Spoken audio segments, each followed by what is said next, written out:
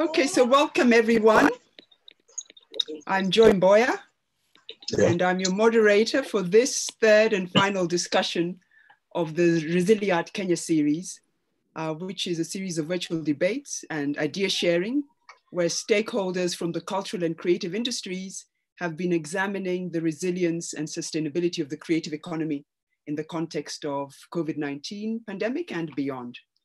And as I've done before, I'd like to thank UNESCO, under whose auspices this event is being hosted in partnership with the Department of Culture in the Ministry of Sports, Culture and Heritage, the Kenya National Commission uh, for UNESCO, as well as the Creative Economy Working Group, Twaweza Communications, Alliance Francaise, and the Godown Arts Center. And I'd also like to thank the attendees who have enlivened and enriched these discussions so far with their comments and questions. And it's great to see um, some of the same ones who have been with us joining again today. And to set us off, I'd like to welcome and invite the director, uh, not the director, sorry, the UNESCO National Program Officer for Culture in Kenya, uh, Ms. Judy Ogana, to give us the opening remarks. Welcome, Judy. Thank you very much, um, Joy, for that introduction, and um, welcome to everybody. So distinguished guests, ladies and gentlemen, on behalf of UNESCO's Regional Office for Eastern Africa, it is an honor for me to welcome you all to the third ResiliArt debate, whose theme is bridging the gap between policy and practice. The overall theme for this series of discussions is crafting and reshaping the creative economy for resilience and sustainability in the context of COVID-19. As we can all acknowledge, the global COVID-19 pandemic has had severe negative impacts on the culture and creative industries. UNESCO launched the Global ResiliArt movement on 15th April 2020, aiming to raise awareness of the effects of COVID-19 on the cultural sector with a view to contributing to the solutions of the sector's resilience. To date, more than 100 ResiliArt debates have been organized and 27% have been held in Africa.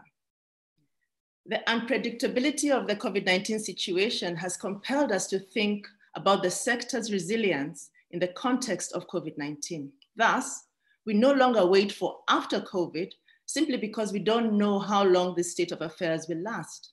As a sector, we need to plan for short and long-term measures to adjust and pivot in this new normal.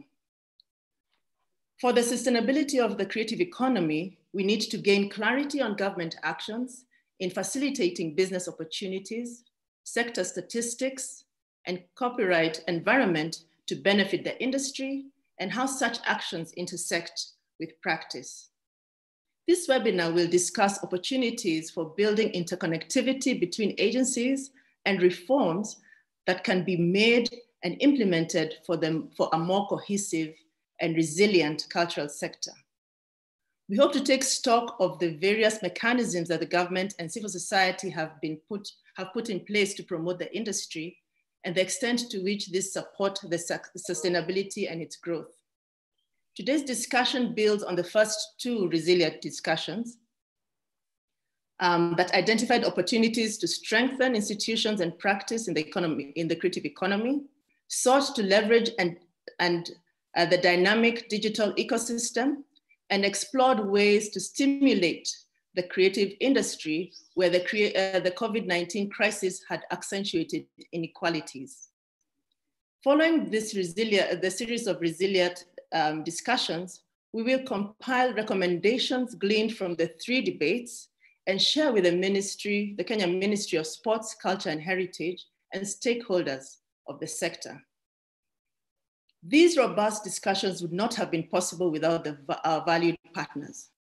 At this juncture, allow me to express my appreciation to our collaborators of this program, which include the Ministry of Sports, Culture and Heritage, the Kenya National Commission for UNESCO, Alliance Francaise, the Creative Economy Working Group, the Godown Arts Center, and Twaweza Communications. On behalf of our partners, I would also like to express our sincere gratitude to our distinguished panelists for taking the time to participate in this webinar and their willingness to share their vast experience and insights in supporting the culture and creative sector. I would also like to thank all who are connected to this debate for your engagement and interest in joining this important discussion today. I wish all of us a productive deliberation um, during this webinar and hope to draw some critical recommendations and action points for the resilience of the creative economy in Kenya. Thank you very much. Thank you very much, Judy. Thank you very much, Judy Ogana, who is the National Program Officer for Culture in Kenya with UNESCO. Okay, so we did wonder actually how many attendees we'd have today. You know, the title of this particular discussion is Bridging the Gap Between Policy and Practice. And I suspect that the practice is tired of discussions around bridging the gap between policy and practice. But I think we're about to have actually a robust and interesting discussion. And when I introduce the panelists, I hope that you'll appreciate the various directions from which this discussion will engage. But before we go there, I'd just like to also thank um, creatives who have been part of this process. Uh, Michael Soi, who has given us access to his paintings, uh, which have featured in the publicity of all of the, Resili the ResiliArt Kenya sessions so far. And in this particular session, Ketable Music, who provided the music video that was played at the beginning as we settled down. So thank you to them as well. Just to quickly recap and summarize for those who may be joining for the first time, um, the, the, the areas or the focus of the previous two ResiliArt forums that we, we've had. Uh, these focused, of course, on strategies for sustainable recovery and resilience of our creative sector from the perspective of the practice, where we spoke with artists and artist organizations, and also from the vantage point of the ecosystem. And in those two discussions, I think some key gaps were foregrounded and these included financial resourcing, where a lack of financial reserves or financial uh, safety net, and a lack of a consistent, locally rooted uh, arts funding resourcing was seen to, to be missing.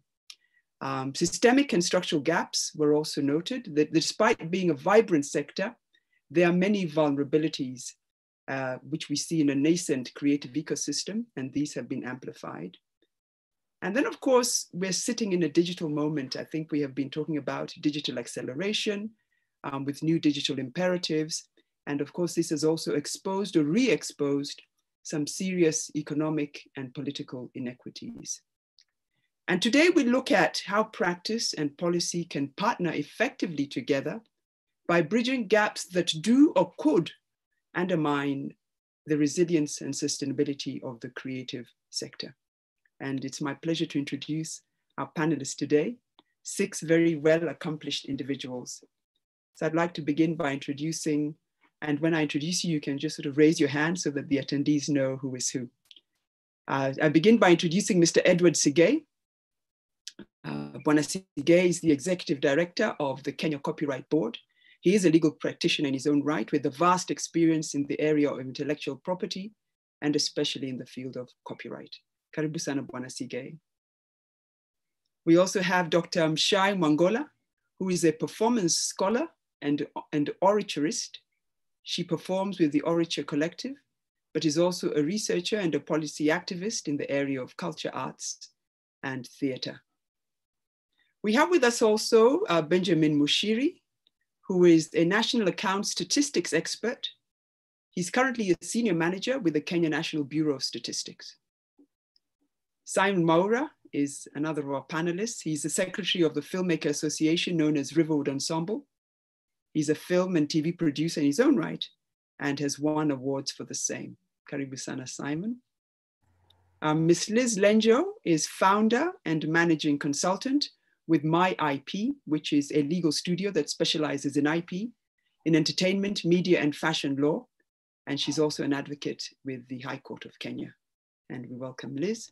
And last but not least, we have Mr. Nyongesa Wafula, who is the Deputy Director of Enterprise Development at the Ministry of Industrialization, Trade, and Enterprise Development. And he has over 30 years experience in micro and small enterprise development. So I think you can see that we'll be looking at this question of bridging the gap between policy and practice, not only from the direction of, of the cultural sector, but of course, looking at the question of IP, looking at the macro the micro and uh, uh, economy uh, more generally, and of course, um, speaking to practitioners. So I'd like us to begin by thinking about gains that we've made in the sector, um, specifically in the micro and small and medium uh, enterprises sector, and in the wider economy more generally. What sort of gains have we made up until the pandemic took hold? Because I think that when we find ourselves in an adverse situation that can significantly shift our fortunes, as we now see the coronavirus is doing, we often think back on the gains we have made and we think about how the situation threatens to erode those gains. Are the things that we've worked so hard for about to become nothing? But we also ask ourselves, what could we have done better? What should we have paid more attention to?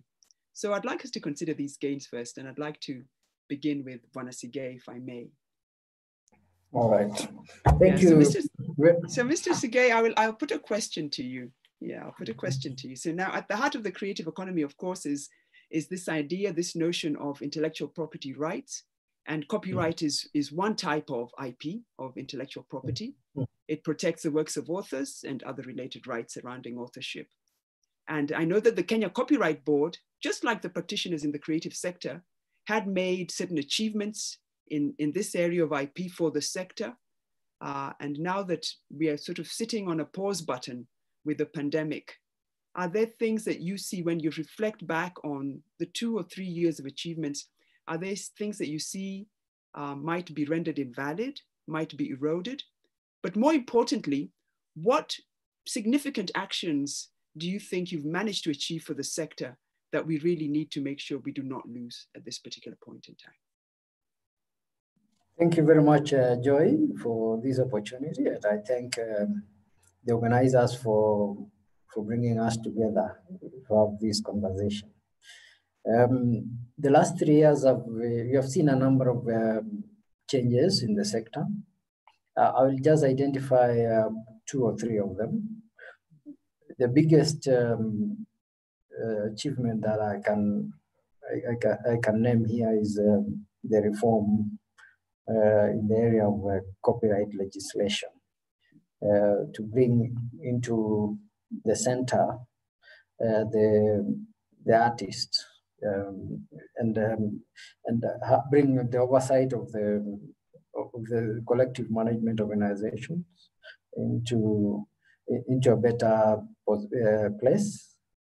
Um, the same legislation has also brought in um, an ability uh, for an, an artist or an author to manage their rights online uh, by uh, preventing other people from uh, interfering.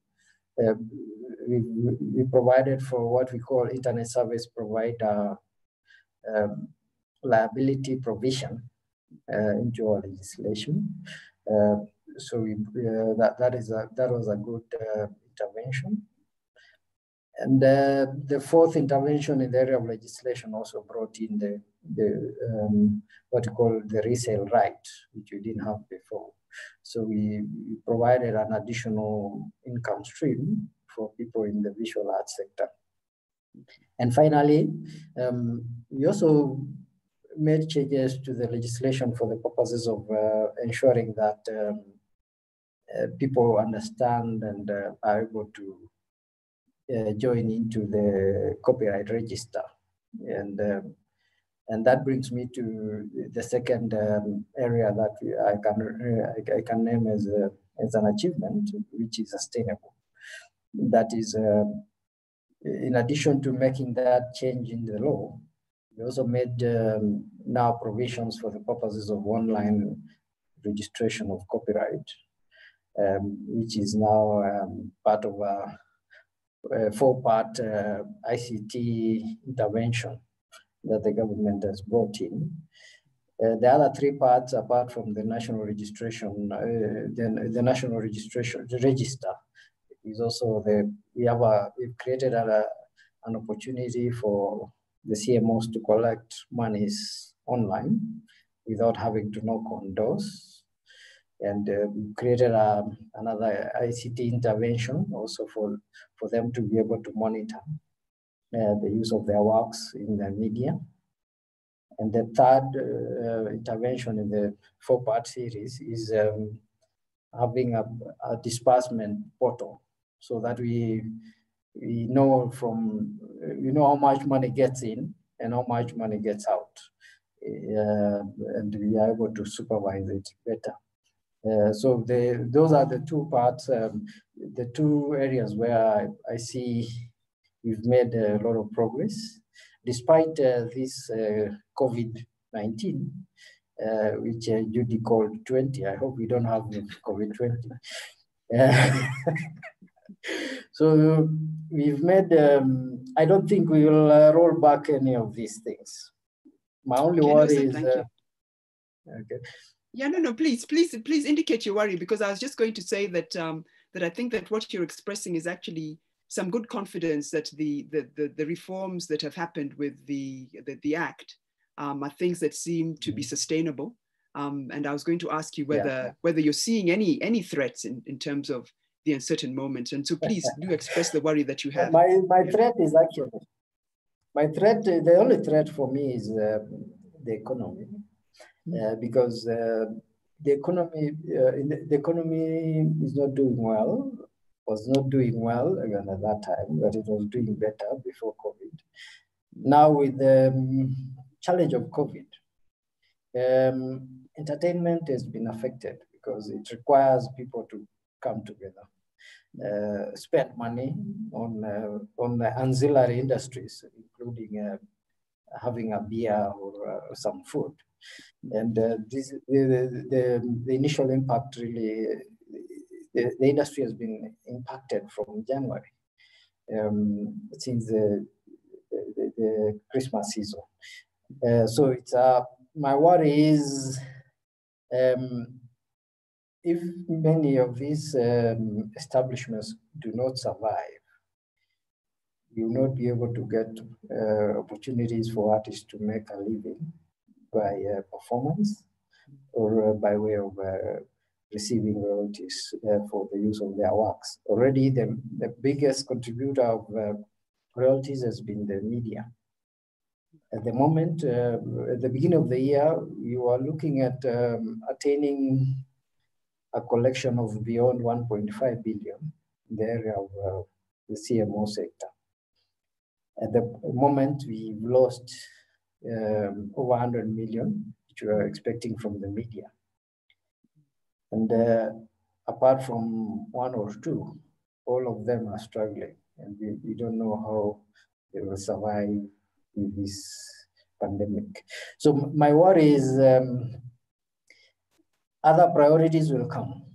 Art and, um, and the sector generally of entertainment becomes uh, something that with an afterthought. That's my worry.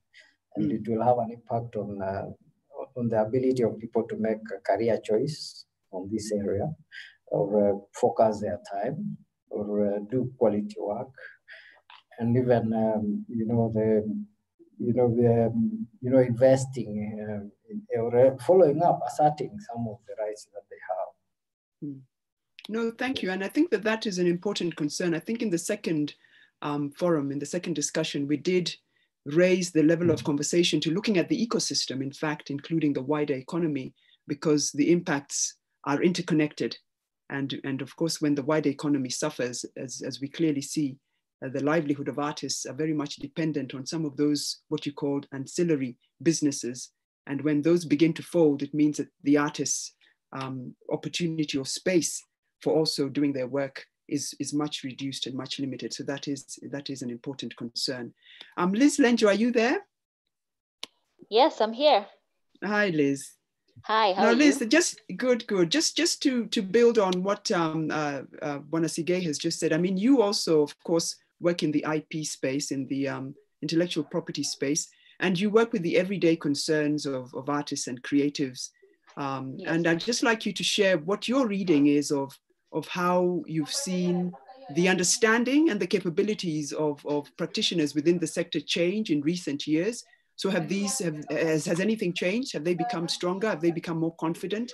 Was the sector actually building um, a, a, kind of a stronger foundation? And then I think to also express the same way that uh, Bwana Sigei has, has, has tried to do, what your own concerns might be um, during this, this period? Okay. Um, so I think it's it would be very true to say that uh, so many of our creatives have been embracing intellectual property laws and, and, and the need for structures. Um, so we, we have been seeing in the past five ten years a lot, an, an increase in registration of copyrights, of mm-hmm. trademarks, and even of designs to some extent. Um, so that has been has been good. And and even in the last two years uh, up to covid happened um, i think the numbers were even on a stable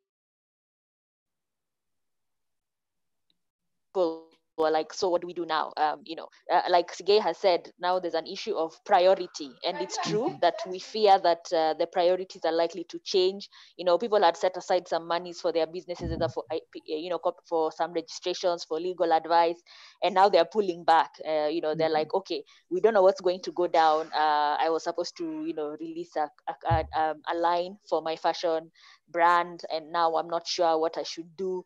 I think i should sit on the money because uh, the, nobody will buy right? Mm. um, so there's been that uh, really serious concern. But coincidentally the, the, funny thing is that when you look uh, at the online trends especially uh, in terms of marketing marketing in the online space has become uh, more prominent uh, there are those who are very aware of issues about copyright and trademarks mm-hmm. and how they manage themselves and their brands. And at the same time, we have seen others who have who have had their intellectual property being infringed because mm. now uh, there are those now who have, have, have, realized the internet is a good space um, to do marketing and to get known and then now they're like oh if i find anything on the internet it's fair game i will use it um, so we are finding ourselves you know slapping people with a lot of cease and desist and take down notices and we're telling them just because it's on the internet it's not free. Um, so we, we've we've been seeing that a lot. So uh, for some they they in terms of gains they're still making some money especially in the retail sec- sector. So many mm-hmm. people are still buying despite uh, the issues. At the same time uh, you know if someone is infringing on your intellectual property, you're not sure whether you're going to ask for money or you just a cease and desist is enough, uh, you know, because everyone is concerned mm. and they're like, you know what, this is an ecosystem that we are part of. So as much as I'm being wronged, does it make sense for me to start, you know, figuring out how to take them to court or or impose a lawyer on them or things like that? So it's it's been a very interesting space. It's a plus though because now um, some people are managing to get their brands more out there. Um, because now they realize the internet is the only space to be. So now they're, they're figuring out what have I not done right? You know, do I have the necessary pop-up contracts or terms and conditions as we call them?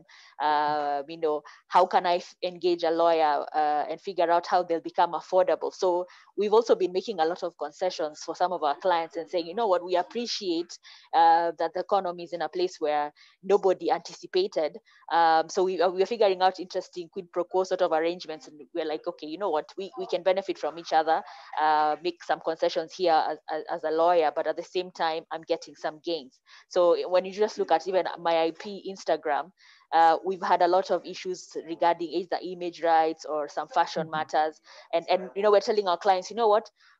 You don't need to just necessarily pursue the law uh, in its traditional sense, but there are also other soft things that we have seen uh, have emanated through other jurisprudence, like in the US, uh, where there have been case laws where you know a designer is told, you know what, when someone wrongs you, you need to push it out there online and say, I'm not affiliated with the following brands, so that then people are aware what is original and what is aso- associated with you and what someone is misrepresenting to be associated with you. So we've we've also seen even for us lawyers, we have become very creative in how to approach the law and and less conservative mm. because we have had a very conservative approach um, to the legal mm. practice as compared to like US practitioners. Yeah. No, I think that's interesting to hear because I think um, again in the second ResiliArt, which was now really focusing on the, on the digital, um, the the opportunities but also the challenge of the space came up, and I think that um, uh, later on in this discussion between with with you and um, and Sigei making inputs, we can begin to think about some of the implications, of course, of the digital being the primary space for for doing business right now and I think, as you're saying, Liz, some of the the innovative approaches of trying to see how to how to deal with uh, with with issues of infringement um, without without uh, the, the you know going going to court, how to alert people and raise awareness around around these questions in, in, in, in innovative ways as you as you put it. Okay, no, good, good. But I think good to hear that it, from your perspective also you feel that um, sector practitioners are, are, are, beginning to get a handle of, of how to work with lawyers and with the law around um, securing and protecting their rights. And as, yeah. as you mentioned, seeing an, uh, you know, a sort of a, a, small surge in the registration of, of, um, of, uh, of rights and, and, and yes. trademarks and patents and things like that. Yes. Okay, so Bwana Mushiri, I know that you, of course, do not sit in the creative economy space, but you are very important to us because um, you are in the business of, of, uh, of counting things that help us think and plan. Uh, if there's one thing that we've been hearing a lot of during this pandemic um, from experts, um, it's really gather data, track data, work with data. Um, in fact, they said sort of saying work with the scientists, and you as a as a scientist in statistics um, working with the with the National Bureau of Statistics, I think every year, of course, you you measure our economy, and one of the sectors that, in fact, you do measure um, as as the KNBS, as the Bureau of Statistics, is the arts, entertainment, and recreation sector. And I know that the arts, recreation, and entertainment sector, coupled with information and communications, collectively then comprise what we call the creative economy. I also want you to give us your take of, of how you read the numbers of the creative economy in the last three years or so. Um, what is the data telling us? What have you been seeing? Um, and, and so that we can understand where we were at just before um, the coronavirus uh, pandemic uh, began to put a halt to some of our activities. Bwana Mushiri. Bwana Mushiri, are you there? Can you hear us? Yes, I think I had uh, muted, but I. Ah, okay, no, Karibu. Yes, yes, we can. Welcome. Okay, thank you, Joy. I also want to uh, thank the organizers of this uh, webinar, the participants, and uh, my fellow panelists. And uh, thank you for the interest in uh, the area of statistics. And as you rightly put it, when you look at the classification of industries, as far as the ISIC is, is concerned, the one that we use for for doing like the GDP and uh, economic statistics in general, we actually don't have uh, an activity that is called a creative economy. Rather, you can have, we actually have them split across a number of activities within the classification. And one area that uh, wholly covers, or not wholly, but uh, wholly is uh, made of creative arts, in my thinking, is the one that you have mentioned, that is arts, entertainment, and recreation. Then we have a lot of it under publishing, that is uh, information and communication. We have publishing, we have motion picture, we have radio and TV, we have telecommunications, among others. Then we also have um, other activities like uh, organization of convention and uh, trade trade shows. I think it has got some element of uh, creative art. And then we have another one under administrative uh, support. We call it uh, administrative su support activities, that because that is where we have photographic, everything to do with the video photographic, whether it's for commercial or for consumer purposes, whether it's aerial or they, they are covered there. So we can basically say that um, the creative industry is covered within very many sectors of the economy as defined in the International Standard Industrial Classification for all economic activities. Uh, when you look at the economic survey, there are some that come out but uh, lumped together at, uh, at, um, at an aggregated level. And one of them is the information and communication, which has actually been performing very well for the last five years. And it has actually averaged at around, the, the, the growth rate is at an average of about five, uh, 11 point something. But it's also good to note that uh, there are two subsectors within that one of them is telecommunication. The other one is uh, publishing, broadcasting, and other IT and information activities. The driver there is telecommunication because it has actually been growing at an average of about uh, over, over 11, while the other one has actually averaged at about 3%. So overall, the average is actually 9.7. And then we have arts and entertainment. It has also been doing quite well because over the last five years, the average is about 5.7. Then in terms of the one that I called administrative and support services, which actually only has a small portion of uh, creative economy, uh, it has actually been averaging at about 3.7. So overall, we can say that uh, the performance of the creative industry or the creative economy has been better than the, the performance of the economy as a whole. So I think uh, the creative economy, in our judgment, from the statistics point of view, has actually been performing better than the overall economy. Hmm. I think that's that's amazing to hear, and I think it's something that, of course, we we we don't appreciate until somebody like you gives us the numbers, or whether or until we look at the numbers ourselves. Um, because you know, of course, the creative economy has been, and Mshai will probably speak to this, is is is trying to seek recognition and uh, and and and a solid partnership with government um, and numbers, of course, speak to government. And to be able to say that the creative economy actually um, is growing faster than the general economy, if you compare them, is an important is an important piece of of information. But so for you then, Bwana what would be your concern? Um, because it seems that that we have been doing well, and the anticipation is that we would continue to do well. Uh, what would be your concern now that we are looking at at a possible halt of, of global activities and even our own national acti activities for at least a year or, or a slowdown for at least a year?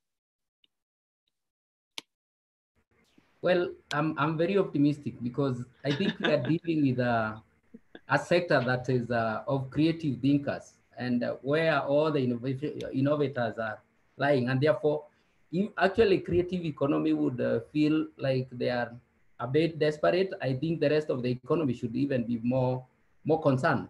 So to me, I have a lot of confidence that uh, the creative economy should uh, do very well because I think that is where we have the, the creative thinking. That is where we have the innovators. That is where we should actually be relying on. But uh, there is hope because uh, as um, Liz has said, the, the, the, in terms of coverage in the ICT, especially the internet, almost everybody is running there, including mm. the way we are collecting statistics. So I think if the creative art can think of leveraging on uh, technology, then they have a better, we'll be having more, more, more, more, more what, more, um, the market would be better mm -hmm. probably than before COVID because we now have more people running to internet to do things. Mm -hmm. And therefore, if you are to sell yourself through the uh, the internet, I think you'll get better audience, you'll get more more customers. And I'm, I'm not so worried. And I like the opening remarks that uh, let's not talk of post-COVID because we don't know when it will ever come.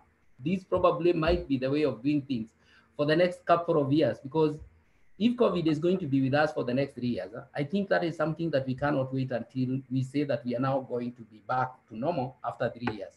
And who knows, maybe nature has a way of saying that it's time for us to change way of doing things.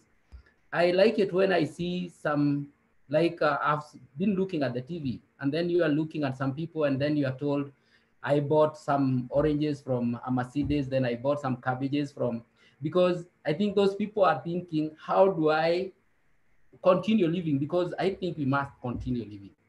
And uh, the good thing is that uh, as much as there is COVID, the product of the creative economy is still popular to the customers. So we need it.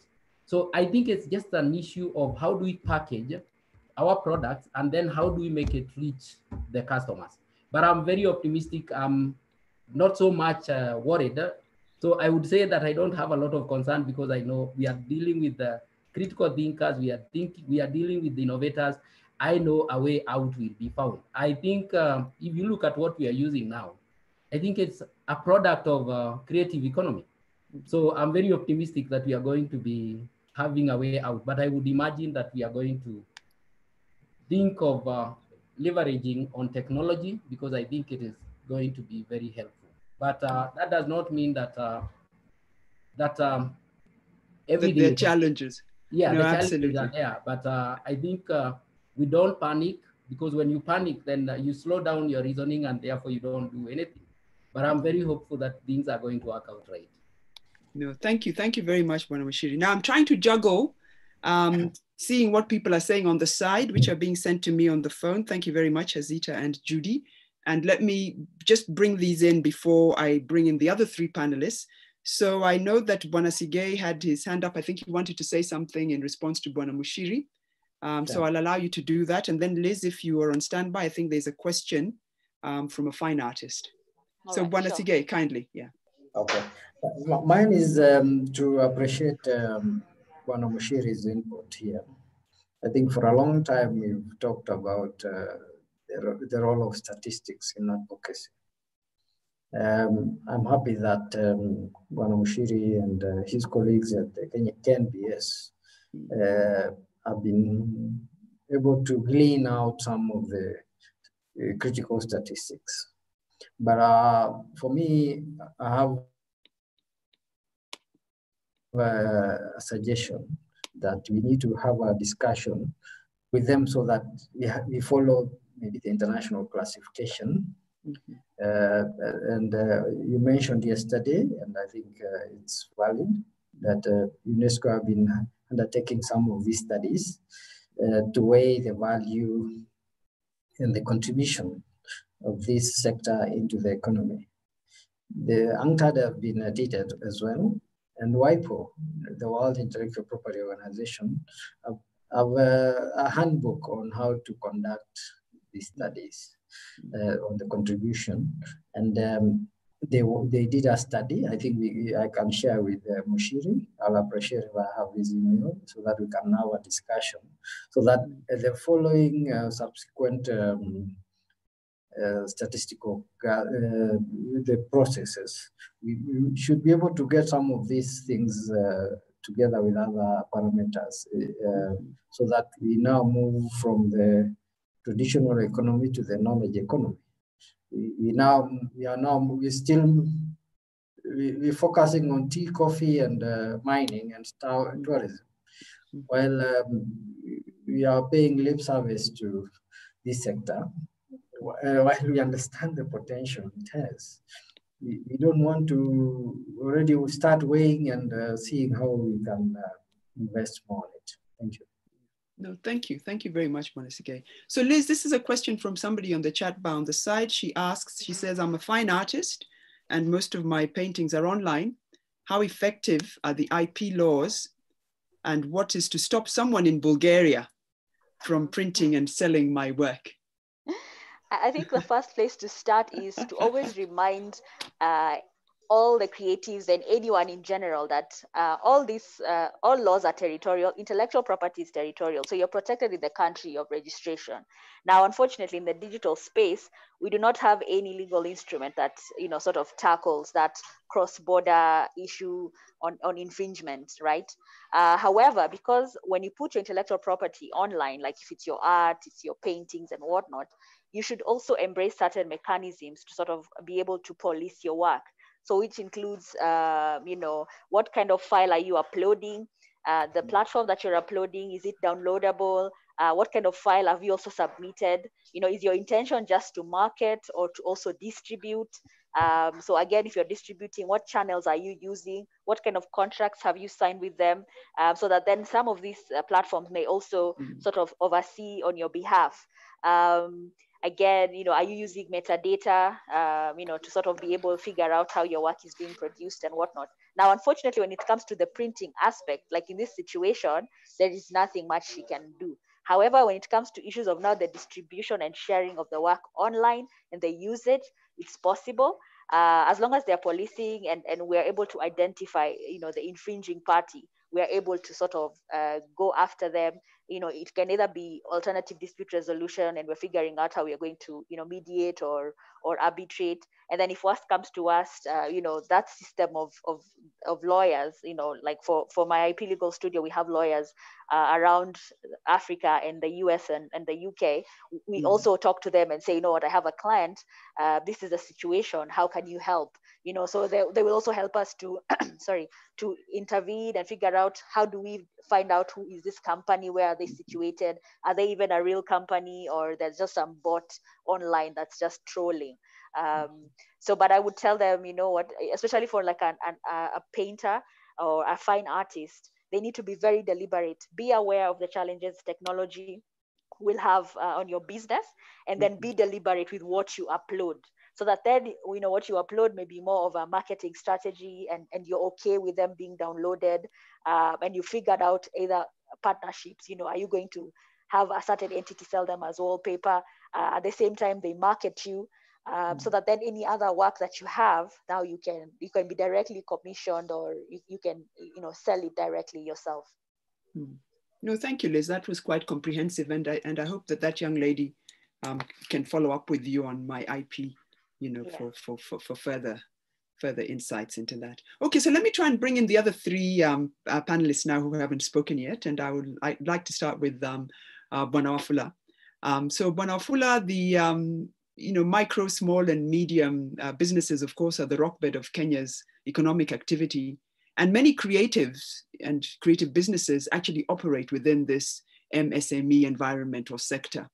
And I, uh, as I, tried to explain in the, in the previous ResiliArts, one of the big gaps that was recognized and discussed, um, of course, was the lack of financial reserves or financial safety nets for, for, for, for the creatives. Uh, but this is, of course, not a new problem if you look at it uh, in light of the bigger micro and small and medium sized enterprise environment. So, what do you see has been a notable difference in this particular space um, that has been made by the state and by the sector in the last two to three years. So in other words, how have MSMEs um, advanced or progressed in the last two to three years from your perspective? If, if they have, if they have.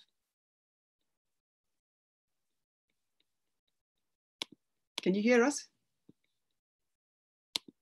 Bwana Wafula, are you there? Your, your, your microphone is off. Okay. Ah, there you go. There you go. Okay, okay. Uh, uh, hello. Yes, we can hear you. Karibu. Yeah, you asked a question, huh? and uh, somehow my phone had gone off, but now it's ah, on. Okay. Did you hear the question? I think I had part of the question. Yes. You asked me about uh, what do we what we have done. Yeah, just yeah. What yeah? What is yeah? What have you seen is the difference that has taken place hmm. for MSMEs in the last two to three years um, a positive yeah. difference? Mm. First of all, uh, before I start, uh, hello? Yes, we can hear hello? you. Please continue. We can hear you. you. Continue. Yeah, yes, I, I love the, the, the Mr. Uh, the, the statistician, Mr. Muchiri, for his uh, uh, for his positive thinking about uh, the, the, the, the, the, creative sector. And also, I would like to demystify the fears of Mrs. K because me, I, I, I think as an, as an entrepreneur, uh, when things change, you also change with them. And then you make sure that you succeed. Uh, like the issue of saying that uh, COVID may stop, uh, may, may hinder the progress of, uh, of, the, of, the, of, the, of the creative industry. Uh, there's, no, there's no for us to fear because people are entrepreneurs. Entrepreneurs really think hard and find a solution to their problem. Like for example, you can look at the national newspapers. Huh? They're now they're now selling their newspapers on uh, online because people now don't want the solid the hard copy of the, the, newspaper. Now they're doing it online, and I think they are making they're making progress. So uh, from the perspective of the ministry or the Department uh, of Industrialization, what I can say, uh, some of the positive things that have, have happened in the last uh, like three years is uh, one of them is a review of the MSE policy the MSE policy has been, have been reviewed. Uh, the first uh, policy was uh, the 2005 version. So this year, we reviewed our MSE policy, and we believe that if this policy implemented right, uh, the, the, the, the, the MSE sector will grow. Another thing that you have done so far, you have also put uh, in place uh, something called the local content policy. Local content policy encourages uh, people to buy or to purchase or to, or, or, or, or to procure from within the country. And this uh, local content policy, if it's also implemented properly, uh, we believe that SME sector will be will, will be boosted and will do better than uh, uh, previously. There are other government initiatives like Buy Kenya, Build Kenya, which has been put in place, which I think also can boost the, the SME sector. Uh, when it comes to creative, the, the creative industry, maybe there's some one of our institutions that we have in the department, which I think we maybe maybe you, either you by oversight or you didn't know about it. You do what you call the Kenya Intellectual Property Institute. I don't know that you know about it. That's one of the most important institutes we have. Yeah. Mm-hmm. No, please, yeah, please tell tell us a bit more about that. Uh, Kenya International Property Institute mm-hmm. is a government institute institute in the Department of uh, Industrialization, which uh, assists uh, assists the assists and it, it, it, it, deals with the registration of those co- uh, copyrights uh, copyrights and and and copyrights mainly. So if you can get in touch with them, uh, they can assist very much on the issue of registration of copyrights and uh, and and uh, and, uh, and and anything, anything to do with any new innovations, they can do it for for they can help. So I think with those, uh, I think uh, I don't think we need to have any fears about even with the COVID nineteen, we can still pro- progress very well because like now I've seen most people are, now are online. If you go in families, people are online always looking at those creative arts online. Eh? and uh, it gives them a lot of entertainment because, like I was telling somebody, uh, suppose we didn't have telephones, what will people be doing now with this COVID 19? People will have died of stress.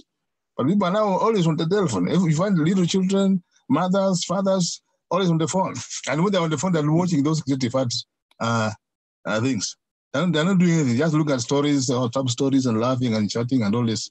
So I believe that with the, even with the COVID 19 uh, pandemic, uh, we still can, can, can prosper in the area of uh, creative industry. Okay. Uh, I don't know whether I've covered what they wanted him to cover. Yes, but I believe I'll, I've done something. Just, but, yes, I'll just ask you one more question, which is specific yeah. to the SMEs environmental sector, because we know that um, from studies yeah. that are done by yourself and also by um, uh, the Bureau of Statistics, that actually yeah. many of these businesses will falter and close because of the shortage of capital, because of a shortage of financing. And this is one of the things that has been discussed as, as a um, uh, uh, basically a risk or a threat for the creative uh, businesses, creative economy, which is part of this SME environment.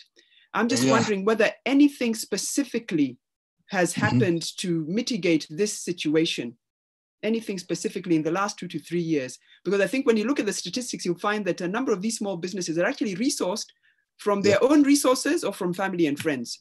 Yeah. And then and then the next level of resourcing, which is very small, about 15%, is the SACCOs. So yeah. I'm just asking whether in the last two to three years, this situation of financing the SME mm-hmm. sector, of which the creative economy is, is, is a part of, whether anything yep. has changed there, whether that continues to be a risk for us. Well, it continues to be a risk for us, but where the government is trying, uh, the, the, the, is trying to make sure that uh, the, the, the, envir- the environment is uh, trying to make sure that it can uh, keep, keep them a conducive environment. And one of the things the government has done so far is the repealing of the interest cap. You know, when the interest capping was there, most of the banks were lending to, were fearing to lend to SMEs. But now recently, uh, this was repealed, and I believe that now money is more available to the SMEs. Another thing which, was, which, the, which the government has, uh, has done was enhancement of payment of pending bills you realize that most SMEs have been working, doing business with the government, uh, county government and national government, and uh, most sometimes the payment they have not been paid on time or the late payment, but the government has now enhanced the payment of pending bills to SMEs. Another thing is that uh, the government intends to put up what they call uh, an SME fund, which will uh, take care of the, the, the micro and small enterprises, most of them were informal. And uh, the, the fourth one is that uh, and the government also is, is, is, trying to put in place a credit guarantee scheme, which I think should be launched on the 1st of August this month, this year. Uh, this year. And this uh, credit guarantee scheme will enable uh, commercial banks to lend to SMEs at a lower rate than what they have been doing in the past. So with the coming of the credit guarantee scheme, we believe that most SMEs will now be able to access finances uh, from the commercial banks. Another thing is the amendment of the competition bill, which has also been done, and uh, setting up of warehouses uh, in free trade zones in the Eastern countries. So the government also in, in, is also going to put up um, uh, warehouses whereby where SMEs can now aggregate their products either in all areas for in the marketing and easy. And the government is doing much, uh, uh, and many things the government is doing. And uh, uh with the COVID-19, the government is also trying, has trying to do something. The first thing it has done is the stimulus. Uh, the stimulus, um, uh, economic stimulus package to easy, to, to, increase liquidity in the, the circulation so that the SMEs can be able to do business. And the first uh, economic stimulus package was a VAT, was a reduction of VAT uh, from 16 to 14 percent, and the reduction of turnover tax from uh, 3 to 1 percent. Uh, we believe that this can also assist SMEs uh, by increasing liquidity. Although we know that 78%, uh, 79% of the SMEs are informal, but we believe that uh, we, we're still working on it and see how we can handle this informal, uh, which, is uh, around 78%. Uh, further to that, the government okay, also that's, still that's has. no, that, yeah, yeah. is good, Wanafula. We, uh, we will come back to, to look a little bit more in detail around how some of these, yeah. because I think you said that, that of course, there's, there's policy, policy shifts, and now we need to see how they're implemented. And I think that that yeah. will be the next part of our conversation to try and see how we can get to some, some concrete action, some real implementation of some of these things and some of the yeah. barriers or some of the obstacles to implementation and whether we can clear those. So that will be yeah. a discussion in the, in the second part. But allow me to bring in then now our last two panelists, which is um, uh, who are. Dr. Mshai and uh, Simon. And of course, they will be speaking from the perspective of the practice. And Simon, I'd like to start with you. Um, you, of course, are, are, are um, uh, part of an, an, ensemble, a film, a filmmakers uh, a cooperative or association that that is known to be quite successful um, so far. And I'd just like you to, to describe to us the position of Riverwood Ensemble before the lockdown and, and the kind of uh, situation that you're now in because of the economic recession that we're beginning to, to experience. So how are film directors doing now? How are producers doing now? How are actors doing now? But how were they doing before? How were they doing before as well? Simon, if you, you turn on your, your mic. Simon, can you hear us? Yes, I can hear you. Yes, yes. Yeah, karibu Simon. Asante sana. Uh, I want to thank this conversation, which is actually very helpful and again, uh, speaking from an experience point of view and a practice, Riverwood Ensemble has over the time been getting innovative, creating ways of getting their content outside uh, to its consumers. Uh, if you can remember from our initial conversation two years ago, we were speaking about how do we get our content out to producers, uh, not to the producers, how do producers get their content out to the audiences? And if you can remember, in the very first initial steps, we were doing a lot of DVDs and VCDs distribution. Uh, am I audible? Yes, yes, I, I, yeah, I can hear you. I'm just holding this in my ear so I can hear you clearly. Please continue. Yeah. Ah, okay. All right then. So over the time, uh, we've been changing how content is being distributed,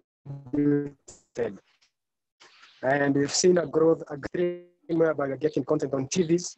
And then right now we've been trying to uh, innovate and come up with new concepts and ideas of getting our content out. Uh, before COVID, we were trying to create policies. Mm-hmm.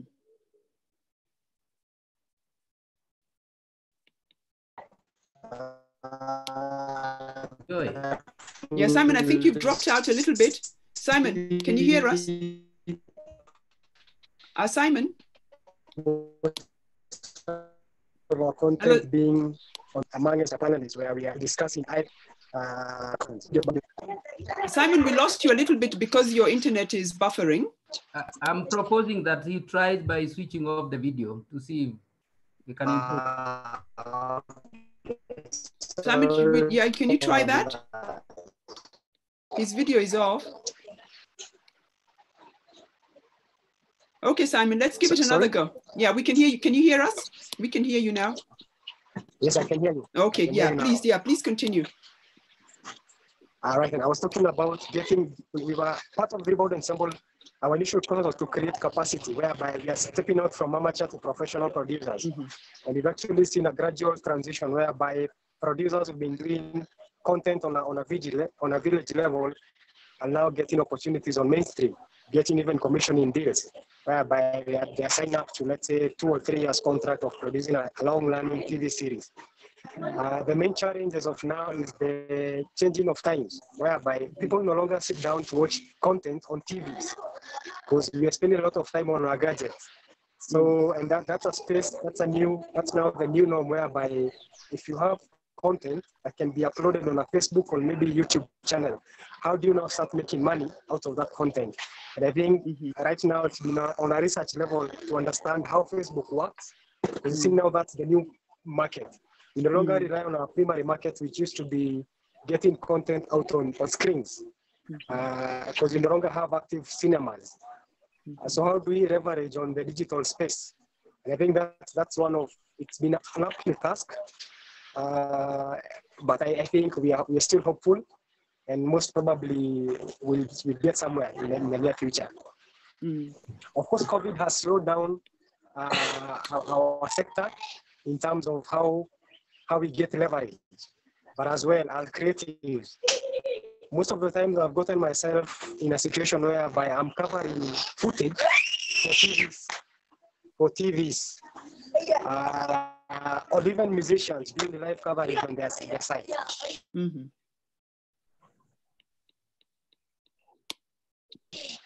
But it's an opportunity, even changing with the changing times. Mm. No, thank you. Thank you, Simon. I think that's very clear. And I think you, you, you reiterate what came up in the second ResiliArt, which is that as creatives now uh, are forced, as in fact all of us are forced to operate through the digital space, um, when it comes to the question of monetizing or using that space to market, to make money, to earn a livelihood, of course, we are now experiencing certain challenges. And, and, and I hope that we can discuss those a little bit more um, in, in, in the second half of, of this discussion, which is about to, to begin shortly after, after we hear from um, uh, Dr. Mshai Mwangola. So Mshai, can you hear me? Yes, I can.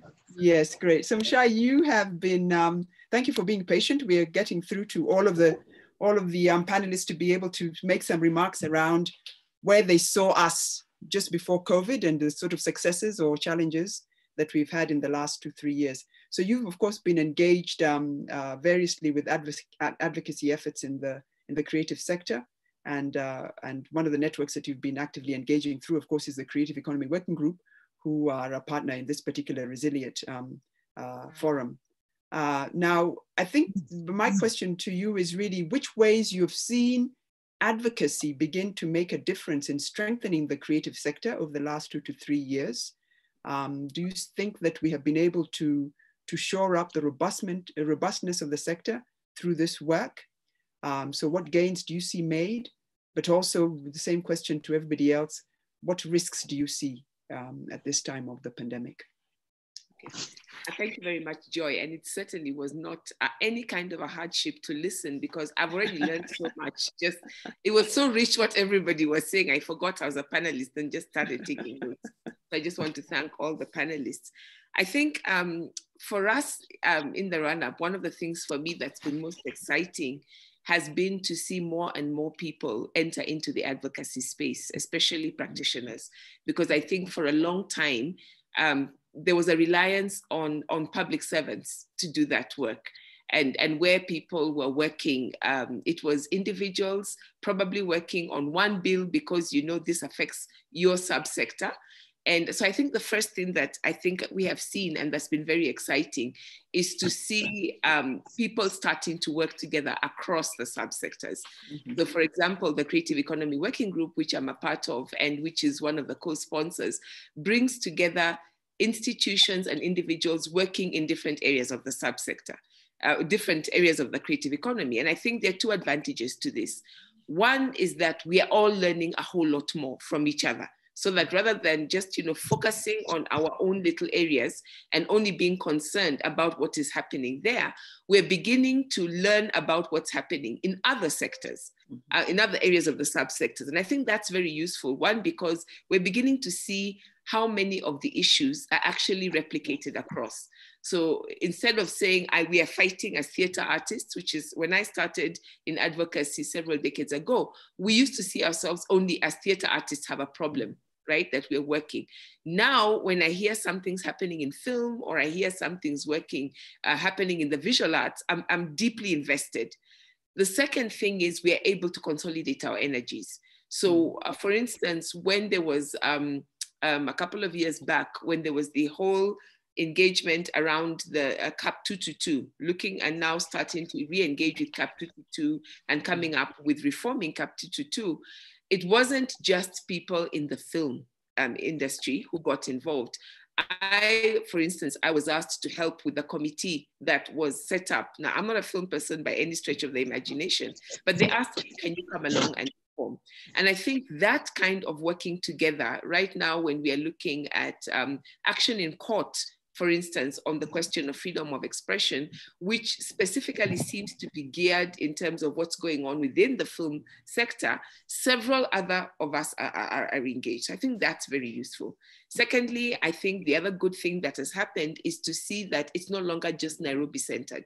So now, especially with the whole question of culture being devolved to the counties and having shared functions, you're beginning to hear and see um, make it's really visible that artists and people working in the creative sector from all over the country are not only getting engaged in the conversations, but sometimes are leading the conversations. And I think that's that's really, really useful and something that needs to be um, um, grown. And then the third thing for me is to see many more younger people engaging. I think what we used to see happening was that people would get to a certain place, right? You you come in and your first 10 years, all you're doing is doing your own work. And then you, you waited until you started Kuiva. You're in your 40s and 50s and 60s before people really started to engage in the policy and advocacy landscape. A lot of the other earlier action with younger people was activism. So you're out there, you're making noise, you're complaining, you're always protesting, but you're never engaged in the area of advocacy. Now we're beginning to see younger artists, people who are in the early careers, getting really engaged. And I think that's very exciting to see. So I think um, those different areas of people, of a range of people. Um, I think the fourth area I'll quickly also talk about is the way people are engaging are seeing what's happening in the creative sector as part of a larger of the larger concerns of the nation and i think the very mm. good example that was given is um, when we start to see how the creative economy has an impact on the economy of Kenya, where we begin to see how the livelihoods of artists actually is speaking to the wider issues of unemployment in the country, with the wider issues of sustainable um, creating sustainable income for Kenyan families all across the country. And I think that's a really um, important and, and wonderful thing that is happening. Oh, fantastic. Thank you very much, Mshai, for sharing that.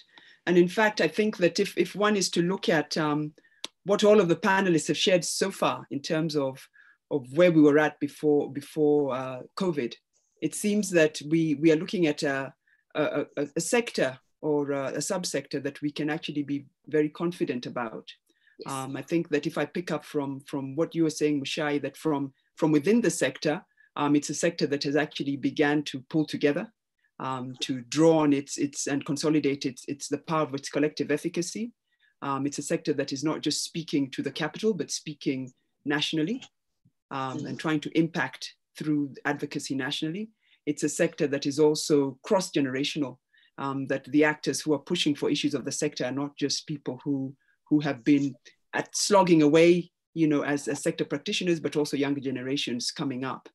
And then I think that when we speak, when we hear from those who are outside of the sector, but still connected, um, again, to repeat what Bwana Muchiri said, which is that you see a sector that actually is growing much faster than, than, the, than the main economy if one does a comparison. Um. And then also when you look at the policy space, if we listen to what um, Sigei and, uh, and Bwana Wafula have been saying is that of course there have been a number of reforms that have been instituted in the area of IP, but also in the area of, um, of um, SMEs. And I think the question now is, is how, do we, how do we make sure that these are implemented? And, and to repeat what was said at the beginning, how do we do this within the time of COVID, even as we project for resilience coming outside of COVID? But I think that Simon has also pointed to something that is important, which is, and again, as, as I've said, has been uh, mentioned before at another forum of ResiliArt, which is now that we're all going online, even though it seems as though there's a lot of opportunity because of the online, there are some real challenges around how do you monetize in the online space.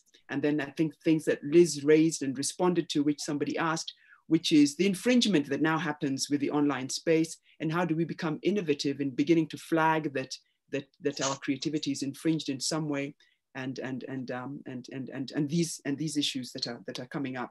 So wonderful. So i think we have the, the the panel has been able to bring us to a place where where we have a sense of the sector from different directions um, of how it was faring uh, before we got to this moment of covid which we don't know how long it will take. Yeah we don't know how long we will be within the, the, the period of the pandemic so let's now look at some concrete recommendations and possibilities from the perspective of the panelists who are here, but also from the attendees. So I'd encourage those who are listening um, in to also make comment on the side and, and we will try and be as efficient as possible in bringing those into the conversation. And one of the comments, of course, if, if I can lead in with that, uh, just so that I don't, I don't forget it, is somebody called Joseph Obel who says that he is um, uh, an arts events curator and a theater director. And before COVID, things were better. Uh, but right now, of course, it's really hard. And he's saying that he's been trying to apply for emergency funds, so emergency funds that have been available for, for the sector, but has not been successful. And so he's asking, is there a better way to sell his work to be able to survive at this lockdown moment? Now, I'm not expecting that you will respond to that directly, but I'm I will lead on with you um, to just sort of say that as we now look at sort of concrete, um, some concrete steps, some concrete recommendations that can be made. One of the things that we know has happened for the sector, which was um, unprecedented, is really the 100 million shilling stimulus that um, was provided uh, by, by the Ministry of Culture, by the government. Um, and I, I, suspect that Joseph Obel is probably responding to, to not being able to access this kind of emergency fund as an artist. I want to sort of ask Mshai that what lesson do you think we can take from just this, if I can call it experiment of grant dispersal by the ministry? What can we learn from this? And then to connect this to what we know is, is a vehicle that already exists, which is the Sports and Arts Fund, that again we know is beyond the reach of of the art sector at this time. What are some of your own thoughts around how we can begin to operationalize this fund, the Sports and Arts Fund, so that it works more effectively and equitably for the benefit of the creative sector, but also a response to the stimulus? Is this something that you think are there lessons that we can learn to carry forward a grant making between um, government and the sector for the future? Yes. Thank you very much, Joy. And, and, and, before I say that, I just want to quickly, like, it's been wonderful in some ways for the sector, but I think four things, and I'm just going to say these very quickly, where we see the risk. And, and I think this whole area of what happened with this with this stimulus package really mm-hmm. amplified these. I think the four things was number one, product that mm-hmm. um, mm-hmm. what we saw happening is that not all artistic areas were covered, right? And if you didn't have a product that you could translate, and, and the digital space is fantastic but if you're working with craft and you you know you're you're you're not necessarily able to quickly upscale and send things abroad and do things like that, for some people it was a real struggle. If your thing is live theater, and I'm from live theater, yes, I can upload stuff and put it online, but not everybody has access to it. Not every artist can do that. Not everybody um, can can consume that. And so some people said my audiences who know me can't reach out to me. So there was the problem of product. It didn't get to everybody. And the way the stimulus fund was structured, a lot of the offerings said, get, for instance, in theater, upload your work online. And then mm-hmm. you're going to come and we're going to shoot it and we're going to. And so many theater artists said, okay, I can do that, but then that loses the live nature of it. The second one was in terms of people. And one of the very big complaints that came up, and I think you will remember that actually in many cases they had to extend the period, was mm. because so many people did not have, could not get access, number one, They were not able to know when what to do, when to come, where to upload stuff, where to download stuff. So the stimulus package left out, I think, the bulk of the artists, especially those who were not centered in urban areas, especially those who did not have access to certain technology. So the third thing was that, and I think what happened is that it further marginalized those who had a lot. Um, to, to them who had a lot more was given, and to they who had little, it was take even that little seemed to be taken away. The mm. third thing was the process, and I think we really it, it, it made very clear that the question of public participation is not just a question of rubber stamping. And so for me, what this process began to, to uplift, and I'm really happy that it happened, was number one, the need for us to build in this question of the people who are most invested, the people who will be the biggest beneficiaries, being able to be part of the process right from the space of conceptualization. Mm-hmm. I think if we had sat down and, and the government had said, look, this there is a fund. First of all, let's start there. Many artists did not even know that there was that there is a sports art and social development fund many people did not know that this fund gives grants right and even before the whole covid season came there was no engagement on it when it came many people did not know what are we eligible for and what are we not eligible for?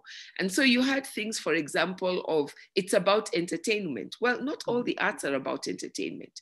It's about being patriotic. And then later on, as we began to engage, many of the institutions said, you don't have to be patriotic in the sense of celebration, because that's how it was translated. Mm-hmm. Uh, many people did not know, okay, you've told us to submit who is judging? What is the judging process?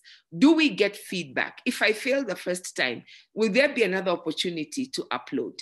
That, you know, all those processes were not clear. Mm-hmm. For me, I think in terms of recommendations and where I think we could have learned, we can learn a lot from, mm-hmm. is number one, structuring um, who gets this money and how the grants are given so that mm-hmm. it's not only about product right? So the whole program was in fact called work for pay. You know, we're paying you because you have produced. Mm-hmm. And that that seemed to suggest that the only time that work is done is where an artistic product is available. But here are some of the areas I think that we could have done some really good work. Put money aside for training and skills development.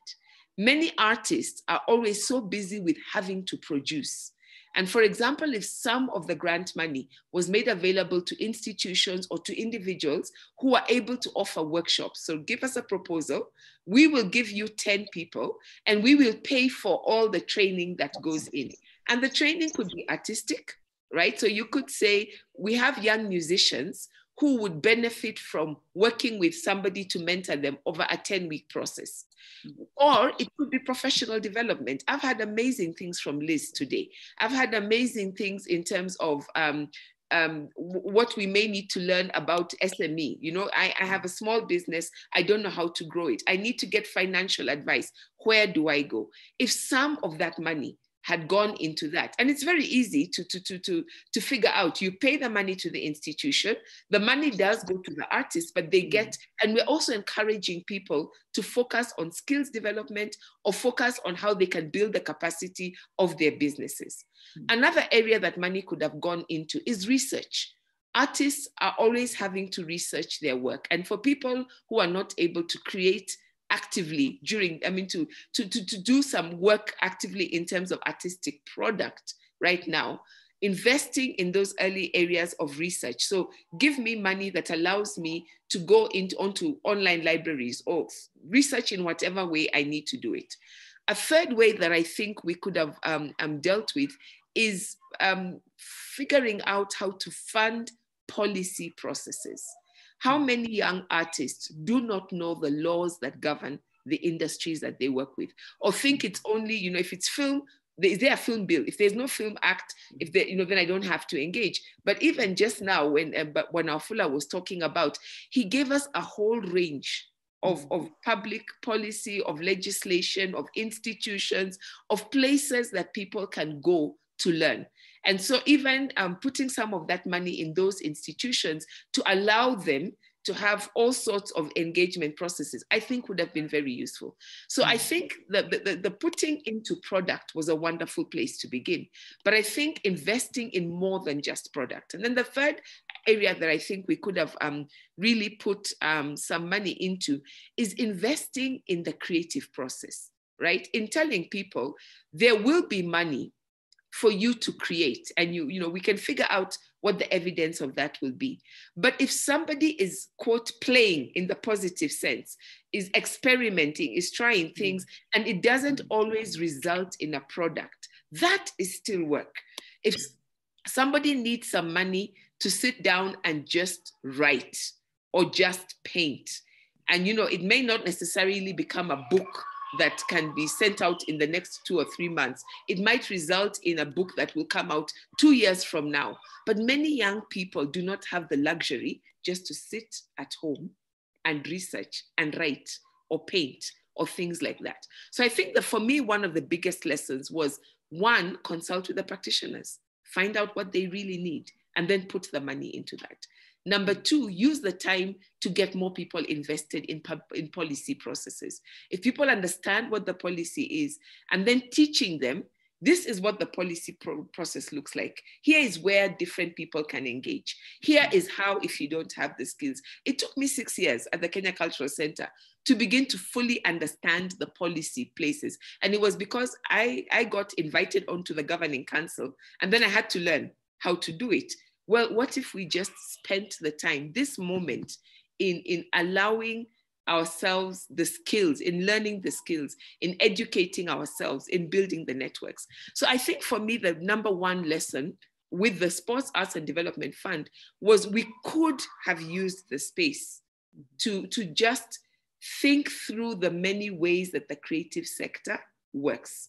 Think through where the gap areas are, build the capacity of different people, and most of all, get the public servants who are at the Sports, Art and Development Sector, uh, Social Development Fund, to truly engage with the practitioners in saying, this is how we spent 5% of the fund last year in your area. Was this the best use of the funds? How else could we do it? What frameworks would make the work more manifest? What frameworks would make the work more visible? I was struck joy by the fact that so many artists did not know that 5% of 8 billion shillings was spent in the art sector in the last year. We didn't know that the money was there. We didn't know what it was used for. We had no ways of, of checking on accountability frameworks so that we could plan going ahead.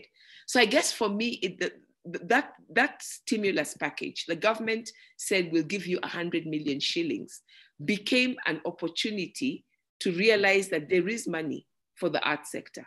It's money that belongs to us as a right, but the frameworks do not exist for us to actually make good use of it. And all these are different ways in which we can continue to use the money. Not even the 100 million, that money is, is there, but then the bigger, the 5 to 20% that the sector will be getting from the Sports, Arts and Development Fund money every year to begin to actually um, engage with the frameworks that will make that money do the work it, it needs to do. Mm. No, thank you very much, Mshai. I mean, you've said you've said a lot, but I think that the primary thing that you're saying there moving forward, the recommendation is that this experience of sort of a grant exchange between the government and the sector is one that that that showed that this that the, the at least from the perspective of the ministry, attention was only being given to the product, and that now there's an opportunity to look at granting and developing and building the wider sector through looking at things like training, through looking at things like the creative process, through looking at things like the policy questions, and, and a whole host of other things. So in other words, in the same way that the sector has been benefiting from funding, and, and unfortunately often external funding that looks at us in that way, that begins to bring money that can be for training, that can be advocacy, that can be for creative processes, that maybe now from internally as well, we begin to recognize that our, our granting and our funding needs to expand to, to that as well. And of and course, you've mentioned, and you've mentioned a whole host of other things as well, which are the yeah. frameworks to be able to, to do this. And I wanted to say, I think the frameworks are really important. Absolutely. This is what the money can be used for. But here, I make visible the way KECOBO did in, in, in setting up the money that they got from the copyright. They put in place frameworks that are visible and people know how to access. That's right. No, absolutely. No, thank you, thank you. So Bwana Sigei, I will jump to you and to Liz, because the other thing, of course, that um, has been mentioned by, by Mshai, and which was a question that I was going to put to you anyway, is, is the challenge of the online. And the challenge of the online from the perspective of, of the question of, of, of rights and the infringement of rights. Um, I know that uh, Bwana Sigei, you did have, I think you had two pieces in the newspaper, um, if, if not more, but at least certainly one or two that I saw, um, where you were you were reminding people that this um, downloading of, of, of, newspapers and sharing is um, infringing on the copyright of of um, of, of, of um, those those uh, owners of, of the newspapers. But then I also know that there was a small run-in with the DJs when the DJs also went online to um, to try and keep earning a livelihood, you know, by playing sets online, etc. And of course, there was a whole issue of copyright. Um, just give us your perspective on some of the some your, your sense of some of these issues that are now of course becoming more apparent as we will work and live online moving forward and some recommendations around a way forward for the sector on how we can begin to, to tackle these things, look at them. I know that Liz gave an excellent example when she was responding to the young lady who was talking about her visual arts work, but more generally, what is your sense, and I'll ask Liz the same question, around how we can begin to resolve these questions that are emerging because we are going digital? For me, I consider digital to be an opportunity, a big opportunity. We've been trying for many years to ask uh, that uh, the sector to get prepared and um, and uh, ensure that they are ready with the skills and the technology mm-hmm. necessary for making money online one of the, therefore for me, uh, one of the benefits of this uh, pandemic is that people have been forced to adjust into the digital trading environment. Um, maybe before time, if we had not had pandemic, we would probably not be discussing uh, digi- uh, online as a, as a marketplace. Mm. So we, we've been forced, and that, that is a benefit that I hope will be sustained. But having said that, um, it requires a lot of uh, work on the side of government and people working within the sector to ensure uh, readiness uh, among the people working here to make money because there are also very uh, real damage that can happen to your products uh, online, as indicated already. So for me, uh, awareness is very key. To, we need to, we need people to learn, adjust, get comfortable, and adapt to the digital environment. The skills required here are limited um, skills on the in area of uh, ICT. It's usually equipment, it's a website, e-commerce websites, uh, ability to receive payment, uh, ability to restrict uh, access, and um, and ability to copy on the people who have access to your work, ability to follow uh, how your work is used online and it's not as hard as it sounds. Uh, so we need people to get ready and get organized. YouTube is a big opportunity. Many artists keep complaining. I keep telling them the first thing you need to do is to know how to take down. Uh, after you've taken down, then you can follow up and ensure that your work is that you present you you upload is work that cannot be easily copied or manipulated. And um, so they, they, a lot of as um, artists have been uh, asked to to join in this this area, just like all of us uh, mm. are, are, not ready for change. Mm. So they, in terms of, uh, I think we've made our legislation ready and uh, um, and uh, useful for this arena. The changes made in the Copyright Amendment Bill made us made it possible for people now to uh, intervene and have their works, uh, the access to their works uh, that are available online removed or uh, blocked by the internet service provider. It's still early stages on how the impact would be, but uh, at least on the um, structural side, provided a capacity and a framework for the purposes of takedown.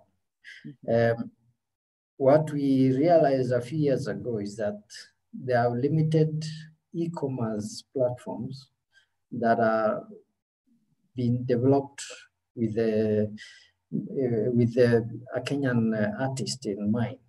Mm -hmm.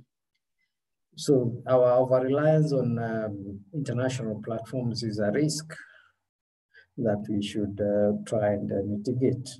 Mm -hmm. So that, um, and we need to tell artists that right now, as we speak, even piracy in the online, in the analog environment is disappearing. Mm -hmm everything is going online. So this is a new marketplace. Uh, we did a survey a few, several years ago, and we realized that the cost of setting up for many, they found it very, uh, setting up some of these sites are very high. Mm. And the conclusion from that uh, study said that um, the government should work with private sector to create uh, platforms for artists in Kenya. Otherwise, we'll be very much uh, locked out. But uh, I wanted also to provide a context within uh, about the DJs. Uh, the DJs uh, wanted to avoid paying the collective management organization the licensing fees.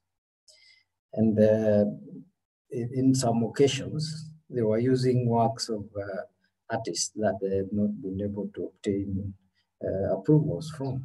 and for that reason, they were being taken down uh, by the, the, the, platforms that they were using because of the rules and regulations that have been set up there. Uh, some people wrongly then uh, said we were the ones who were responsible for the tech uh, being blocked or uh, brought down by the those uh, platforms like Facebook or Instagram or others, but they were actually a breach of the regulations in those areas. Mm. Uh, so for me, um, this is a good opportunity. We have been forced into it. The media were not ready. The, they quickly then uh, made, um, uh, they created new frameworks, paywalls and stuff. And um, people, the, the problem disappeared. So, so while uh, we, we had work to do for them to, mm. to be able to, uh, to shield them for a while, mm. now they, they are becoming innovative. Innovation mm. is an all innovation. Somebody spoke about innovation. Mm. We, we innovate best in uh, under peril or threat. Mm. But, and that's what happened. The media was one of the most uh, analog uh, places. no, so that's we, right. Yes, so they, they, are, they are getting in. Uh, they are, many people didn't know anything about the internet. That's why there are a lot of complaints are coming in about YouTube because people are discovering, oh, there's a marketplace that uh, we had never known could to give tap. us some income okay. or uh, yeah, no great know, great yeah. Okay, no, so, thank you, thank you. No, that's good. So I'll, I'll allow Liz and um, and actually Bwana to come in because the next point I think speaks to Liz, speaks to the digital in some sense, but it also speaks to the idea of the kind of um, uh, mitigative measures that, that government has offered and can continue to offer perhaps to the sector. And this one is just um, continuing from this discussion on, of the online. One of the things we know is a proposal, and again, the creative sector has been asking questions around this, is the proposal of the one, uh, 1.1.5% um, uh, digital tax. Uh, that as we go online, then now how do we begin to tax uh, businesses um, that are going online? I'm just wondering, Bwana from your perspective, and also Liz, I will, I will put the question to you first, but at what point do you begin to to, to tax something, you know, because, because there is a moment of acceleration onto the digital, if a sector is still young, if a sector is still nascent, how do you, how do you think we should craft uh, these sorts of measures that government, of course, needs to take in order to also be able to generate revenue without hurting sectors that are still growing? So if you look at taxing a Google or a Facebook, it's very different than taxing a young artist who is trying to put their work online. Um, so, so how do we, what, what is your, what is your thinking, uh, Liz, around, first of all, digital tax uh, for, for the creatives online? And then Bwana Nyongesa to respond to the same question, but to also talk about tax mitigation for the SME sector more generally. Liz. Okay, um, so I'll comment and say that in, in my view, mm-hmm. um, the, the, the, the digital tax was a misconception in terms of uh, they view uh, internet as a business setting instead of infrastructure to facilitate um, the mm-hmm. trade because already um, when you look at SMEs and businesses in, in general, uh, they already have licenses that they take out. And then depending on also uh, what kind of business you are, you're subject to certain taxes, if it's VAT, if it's income tax, you know, all that stuff. Um, so in my view, the approach was a little um, mis- ill-advised. Uh, mm-hmm. So as such, then it means that you know the SMEs are paying taxes left, right, and center. Right now, uh, the conversation is how are we going to implement this digital tax? At the end of mm. the day, it will also be imposed on the consumer, which then means that all these uh, creative arts and entertainment products are going to suffer even further. Which means you know even the consumers will be like, okay, if, if they're going to tax uh, you know access to content, um, and, and especially from my end as a consumer, uh, if they're going to tax me for buying something through Facebook instead of going directly to uh, a shop, then you know for, for what use is it? So i think it was a little ill-advised. And of course the execution is going to be very uh, painstaking uh, mm. because ideally it's supposed to be based on the business itself. But if it's a small business how are they going to sustain themselves? If they transfer it to the consumer then the consumer will walk away. It's just a catch 22 situation. So i think mm. we need to to just we need to really rethink. I, I, I, it is our prayer that KRA would even rethink it and, and see internet as infrastructure as opposed as as opposed to a new entity, a business entity, which is how they have tackled this, the whole situation. Mm-hmm. So, Bwana to put the, the, the you know the extend that question to you now. I, I know one of the things, of course, that you're concerned about is to try and see how these small and medium-sized and micro businesses thrive. And um, of course, one of the reliefs that government has given is the reduction of VAT from 16 to 14. So my question is, is this really making an impact, 16 to 14? Um, do you have evidence that it is making a difference? And then thinking ahead, again, should we, in order to help these businesses um, survive and develop and become large corporations, should we, for the long term, beyond COVID, think about different regimes, different tax regimes for, for small businesses, for micro businesses, such as those in the creative economy. Okay, uh, I hope you, you, you, hear me. Yes, yes, we do. Thank you. Yeah, one thing uh, from my point of view, I, I, believe that business should, not, should never be controlled. When the business is controlled so much, it can't prosper. Look at the mobile sector, mobile phone sector when it came in, in Kenya. There was no control over it for a long time so that it prospered so much because there was no control. Taxation of the of the mobile uh, uh, services came in later, but the, from the beginning it was not there. So the the, the the mobile sector prospered so fast because there was no government control, there was no taxation until there was established the taxation came in. So my view is about is that uh, the, the the issues that should, should, they should be taxation should be minimal as much as possible, so that the business grows up but once it grows up, then it can be taxed. Now, something else I want to say about the same is that uh, when, when we talk about taxation, we usually point our finger to KRA. Mm. By the way, KRA, they, they have nothing to do with taxation. The KRA, they do what they have been told to do. So what we should point our finger to is the parliament, which passes acts on taxation. Mm-hmm. So we cannot point our finger to KRA. If you go to KRA and ask them, why are you taxing us? They say, yeah, I was given the authority to tax you. So the, the, the, the, big thing, let us focus where the problem comes from. Let's focus on the on, our, members of parliament. I don't know whether I don't know whether the parliament is any any, any committee which handles um, uh, creative uh, industry. If there is a committee, that's a committee should you should follow up on the issue of taxation, because the KRA do what they've been instructed by parliament. Once an, an, an law passed for taxation, they'll do it, and they'll do it mercilessly in that sphere because they've been authorized to do it. So let us focus the, the, at the right point we can be able to help our SMEs, especially the young ones, not, not be taxed. Right. No, That's my view. Yeah. No, thank you, thank you. And I'll ask Simon to actually now make a comment, really, as a practitioner and somebody who represents practitioners around how what is the impact of, of tax or even tax relief actually does mm. these reliefs that government gave um, in yeah. terms of reducing the turnover tax in terms of reducing the vat did yeah. did that did that reach you did you feel the effect of that did that help um, the, the stimulus itself which um, Muchai have spoken, has spoken extensively about did members of the riverwood ensemble benefit from it so that we can understand from your perspective what is a recommendation around making sure that these measures that are supposed to mitigate and bring relief actually do have that, that, that intended effect. So what was the effect from your perspective? Uh, from my perspective, perspective, the, the tax relief mm. has not helped so, has not helped so much because uh, SMEs. Oh, so is that Bwana Nyongesa or Bwana Mwaura? Mm. Oh, sorry. Who is speaking? Oh, sorry. Yeah, sorry. Yeah, I, yeah, I was, I was, I was, I was uh, putting that to Bwana Mwaura, Simon. Oh, yes. Sorry, sorry. And then, and then, Bwana Nyongesa, you can add to that. But uh, let's let's hear Simon first. Yeah. Uh, the the issue of taxation, uh, I'm really not conversant with it for now. I'll, I'll, I'll be that's a gray area for my side.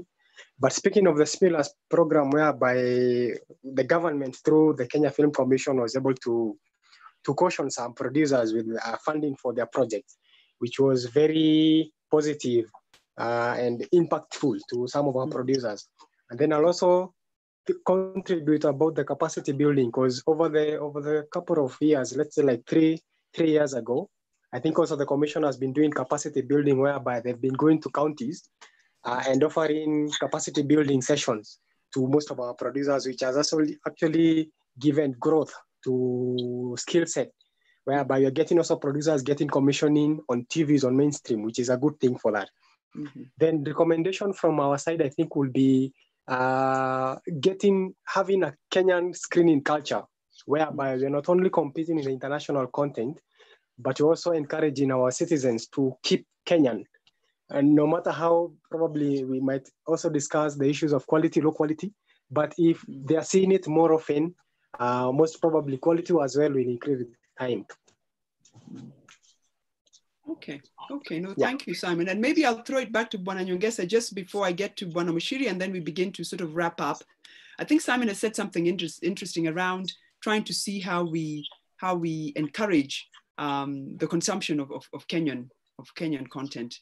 Um, so Screen Kenya, I think, is, is, is what you said, which yes. which raises for me this question around some of these slogans that we use when we're trying to, to, to, you know, to push um, a certain measure, buy Kenya, build Kenya, are these just platitudes? Are these just, is this just rhetoric? How does it become practical? Because I think this buy Kenya, build Kenya is something that we all believe in. But because we don't feel it in terms of the policy or the initiatives or the measures, we begin to disbelieve it. So how do we move from platitude to action in your, in your view? Especially in relation to this idea of, of buy Kenya, build Kenya, which as, as um, Mwaura has spoken about, would be really supportive of the creative economy, of the products and the work of, of Kenyan creatives at home. Uh, hello, that's Wafula speaking now. Yes, yes, Wafula. Yeah, maybe maybe before I forget uh, about the issue of Buy Kenya, Build Kenya. Yes. Buy Kenya, Build Kenya is an initiative of government and we also have what you call a local content policy. Mm. Now, this issue of buy Kenya, build Kenya is something which should be done, which should be inbuilt among Kenyans. Kenyans have a problem of looking for things from outside the country. Imagine if, when a Kenyan goes to China, for example, for a, maybe for a training, he will fill his box with new dresses, new clothes from China. Instead of getting the money and coming to buy the things in Kenya, he will buy from there. It's a common, it's a problem of we Kenyans. So we have to change. We have, we have to be patriotic and change and love our own culture, love our own, and buy from our own. How do we do that? Uh, it's the question. How do we do that? And how particularly can that your directorate be, help us? I think a change of attitude and a change of culture. I don't know how to be that because even, even you go right from home there where you're born. You want to buy something from uh, somewhere. I want to buy something from Nairobi. I want to buy something from Mombasa. I want to buy something from, from Kakamega and I come from Bungoma because I think Kakamega is superior than Bungoma. You see that? So we have a problem of, uh, I think they call it the inferiority complex. Eh? We think that our own is not the best. So that one should be, uh, uh, uh, uh should be an issue of ideology change and uh, and, and, and, and attitude change. But we just know that ours is also good. That, that's on the issue of the Buy Kenya Build Kenya. We have even a policy called the local content policy, where, where we're encouraging. Like, like even now in the government, or in the government uh, procurement, we encourage that most of it comes from Kenya. So that's about the the, the, the, the, the policy. And the other point I wanted to speak about was, uh, what was it? Maybe you reminded me. The other yeah, point no, was so what? it- yeah, no, I was just sort of saying, I think you've made the point. I was asking how we move from buy Kenya, build Kenya being merely a rhetorical statement to something Yeah. that is, is concrete. And I think you have responded to that by what we are saying that a mindset needs to change. You need to change. Yeah. Okay, no, you And, know, and thank again, you. on the SME, on the SME, the, the, on the stimulus, huh? And the Yes. stimulus, my comment on the stimulus, is actually, most of the SMEs are not, are not going to benefit because, uh, we- as we said earlier, uh, 79% of SMEs are informal. So they, they may not benefit from the stimulus the government is putting ahead. I, I think the government should go further than that. Should go further and target these SMEs who are not, who are not, uh, who are informal. Because for And informal SMEs, And, and I'm sure you have some thoughts around how that might happen. How do we reach the so-called informality? How do we reach that informal sector? it means we have to go out of our way and maybe and maybe work with the NGOs, uh, with faith-based organizations uh, at, at the grassroots level, so they can be able to, to- to- maybe put funds in those in those NGOs and maybe faith-based organizations and other uh, local uh, uh, CBOs. We're going to be able to get to them because if you do just uh, general stimulus uh, in taxation, we will not reach them. No, That's my you, my thank take. you. Thank you very much. Thank you very much. Dr. Mshai, I think you wanted to make um, an intervention, please. Thank you, Joy. I just wanted to say, I think, um, and, and into the, the, the point, the question of how do we make Kenyans embrace it? I think one of the problems that we've had is that we've we've divorced the creative economy and the creative sector from the question of Kenya, you know, and from the hmm. question of it's not just what is good for the sector, it is what is good for the country. Hmm. Article 11 of our constitution says that culture is the foundation of the nation. We haven't seriously engaged on what that means and what the link to the creative sector is. And the creative sector is much more important than what it contributes to the economy. That's very critical. And indeed, as we have already dis- um, we've already heard from the Kenya National Bureau of Statistics, what happens in the creative economy has got a relationship to the economy of the country. But beyond that, the creative sector is very critical in terms of being the ones that hold together the culture, the cultural and the creative sector as the foundation of the nation. When we really begin to understand that when we build the creative sector, when we build the cultural sector, we are building the foundation of the nation, then we mm. can begin to engage that question so that we've got to take this away from one sector into the nation. And I think when we do that, I've just seen somebody's commented that, you know, um, Kenyan goods are too, they're too expensive. When you look at the cost compared to mm-hmm. what we're buying from, say, China or wherever else. But when we mm-hmm. begin to um, link that to education. And we begin to link that to what is this doing for who we are as our nation, when we begin to link that to the values, not in the cheap way of just say, let's celebrate, but in saying, how does this help us instill Article 10 values into the nation, then the value of the creative sector and the value of the cultural sector and the value of culture being the foundation of the nation becomes much bigger than a fringe part of we do when we have money to get to. It becomes central to everything that we do. And I think that's what we need to do as Kenyans. No, thank you. Thank you very much. Thank you. Thank you, Mshai, for re-anchoring that again, of course, in, in, in the in that very powerful statement of the Constitution, which says that culture is indeed the foundation of the nation. So the nation is made and built on culture. Yeah, no, thank you. Now, before we get to something which is different for, in this ResiliArt, is that we have two poll questions, which we will ask uh, the attendees and the panelists to respond to. I just want to give uh, Bwana a chance to also um, give us a way forward um, in relation to where he operates from, which is statistics. When Muchiri, you indicated that, of course, as we as you look at statistics, it straddles many subsectors of the of the bigger economy, and that um, the creative economy so far, if we were to if we were to measure it, we would be putting together two two um, lines of measurement that you have when you're when you're when you're measuring the GDP, and that was the arts, entertainment, and recreation line, and also the the um, information and communication line. But you indicated, of course, that it is. You can probably find it in tourism. You can find it in many other places. My question is, when you are looking to measure the creative economy, what are you looking at? What are you looking for? And how can the sector itself make this work easier for you? So moving forward, how can we be a better partner to the Bureau of Statistics in making the measurement of the creative economy easier for the creative economy. So separate from the question that, um, that Sigei also asked, which was, how do we also disaggregate it completely so that we have a line that measures the creative economy quite distinctly. So what are you measuring? What are you looking at? And how can we be a better partner to you in making that work easier as a creative sector? Thank you. Yes, yes, thank you. Yeah. Thank you so much. Um, and I want to thank the panelists. I'm, I'm also coming out more educated and uh, understanding the sector better than I was before. I think the starting point in terms of uh, improving the statistics for the creative sector economy is uh, the definition. Yes, I agree with uh, Sigei that uh, there are working definitions at the moment because you look at UNCTAD, there is uh, the definition UNESCO also has a definition for it. And when you look at the best practices in terms of the countries that are doing very well in uh, creative economy, you can give examples of UK, you can look at uh, Australia, but all these, there are some similarities. There is a common denominator as to the definition of creative economy, but still there are some disparities here and there. And then um, the, what I know about uh, international definitions, you have to come down and domesticate. So we could be having a handbook from UNCTAD about the measurement of creative economy. But as Kenyans, we need to sit down and uh, make it work for the Kenyan case. So I still feel that uh, there is need for us as Kenyan to define what is it that we are going to be calling our creative industry. And most probably we, we are not reinventing the wheel.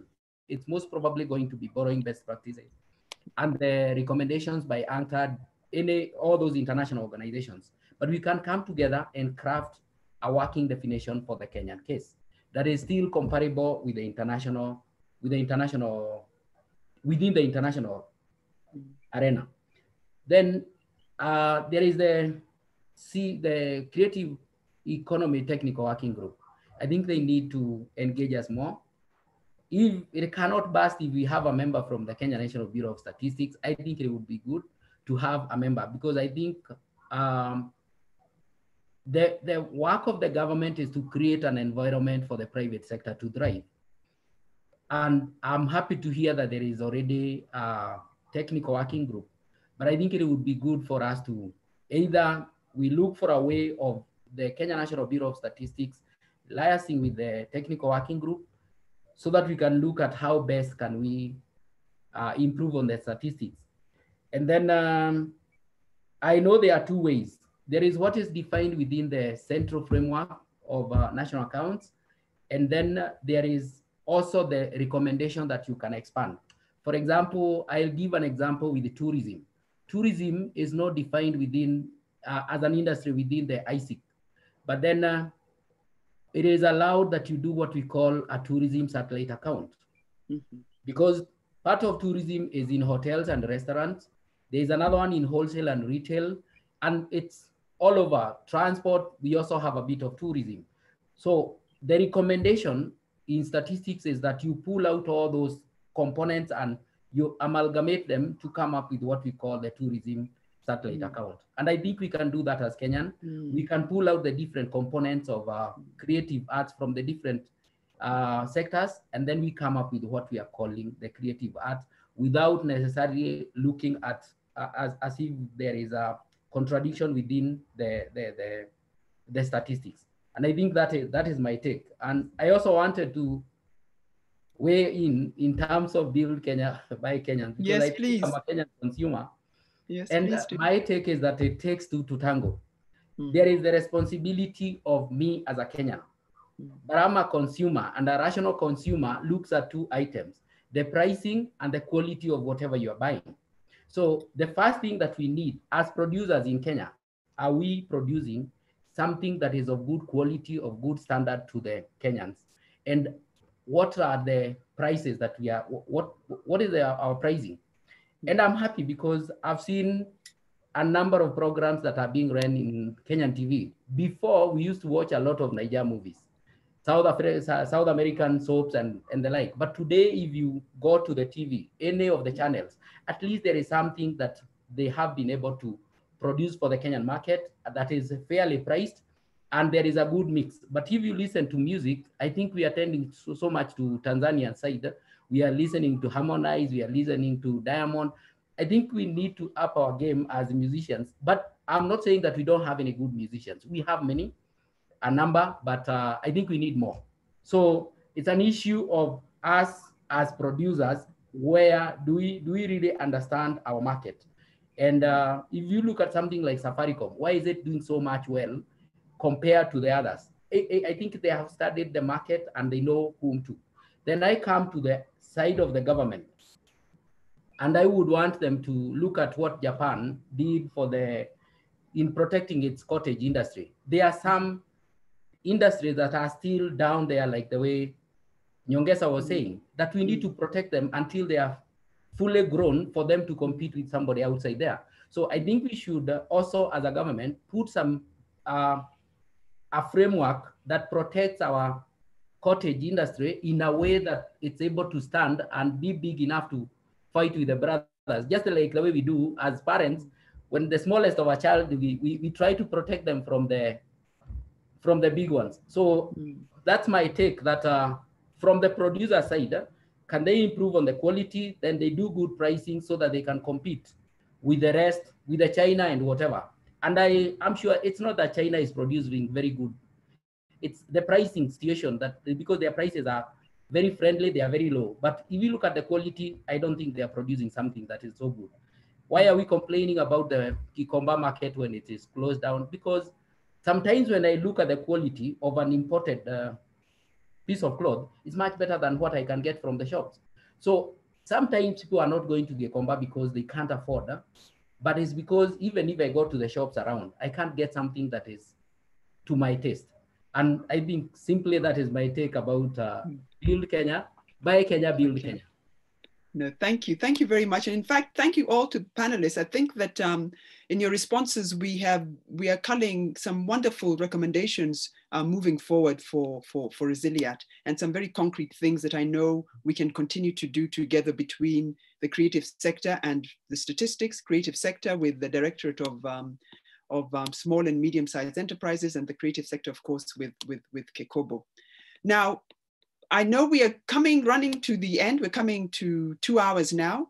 And um, I can see that some panelists are already beginning to walk away. So I'd like to ask Kazita to kindly share with us the, the two poll questions so that at least the 30 odd who are here can respond to those. And then I'll come back to, to wrap up the session by um, asking the panelists to just sort of name one thing, just one thing that you'd prioritize for the sector, for helping to move the sector forward um, at this time and beyond. So just one thing, so not a long sentence, just one thing. It can be one word or one phrase um, after we do this um, uh, poll. So Azita, kindly, if you can share the poll, it will just take about a minute for us to respond to. There they are, it's right up there, two questions. And, and then the results will also come away immediately.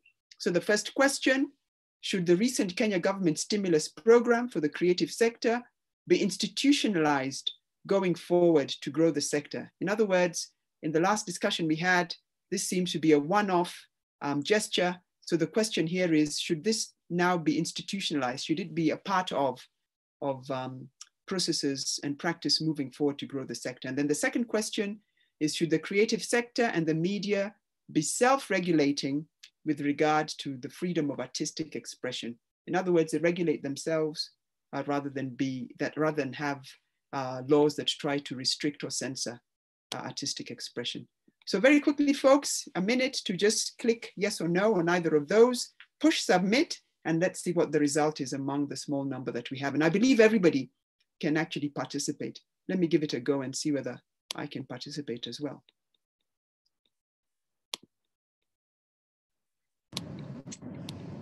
And Joy, I'm still here, I'm just using my husband's account. I know, Liz, no, great, great, yeah, fantastic. So Liz, I hope you heard us. Yes, that we, at the very end, after these results come through, I will just ask each panelist to very quickly just say, what is the one thing that you'd prioritize so that the recommendation report, which you heard um, Judy Ogana mentioned, they will be sending forward to the ministry, um, can capture that. And All then, right. uh, and then I will invite um, uh, someone to close, to make some closing remarks. So Hazita, how are we doing with the, has everybody responded? Who, who wishes to respond? Uh, we'll give them one more minute. Okay, so maybe as we do that, maybe as we do that, then actually I can ask the moderator, uh, the the um, panelists, to kindly just tell us the one thing that you would prioritize um, for the creative sector. Now that we've all gotten to understand the creative sector a little bit better, for those of us who are not directly engaged in it, what would you prioritize during and after COVID um, that you think would be a, a, great benefit to the sector? What would you prioritize? So let me uh, move in the order in which I introduced the panelists earlier on. So uh, Bwana Sigei. Awareness and uh, capacity building. Awareness and capacity building. Yes. In, in, in, in the IP space, for the IP space. Not, uh, for, or just me, generally. I'm, I'm, looking at um, this sector as uh, an enterprise. Yes. So you, you need skills in from enterprise regulation and, uh, and management. So, okay. You know, all rounded, yes. Okay, a holistic capacity building and awareness. Thank yes. you. Thank you very much. Dr. Mshai, what would you prioritize? Joy, I'm a storyteller. I don't do one word. I think I would. I, I think going back to that thing of that we need a national conversation on the place of culture, and we need to understand why this country and ourselves must invest much more in, in, in the creative sector and the cultural sector. Understanding we're frontline workers, understanding the centrality of culture, understanding that investing isn't just money, investing is actually investing in the soul of the nation and not just in one soul. No, wonderful. Thank you. Thank you. Bwana Muchiri. It's okay, Is Bwana Muchiri with us? Yes. Yes, I, am still here. Yes. Uh, my priority would be that, uh, like um, standardizing or agreeing what is it that we are calling creative economy, and then from mm -hmm. there look at ways of improving uh, mm. the statistics regarding the uh, the sea. That is the creative in the uh, economy. Yeah.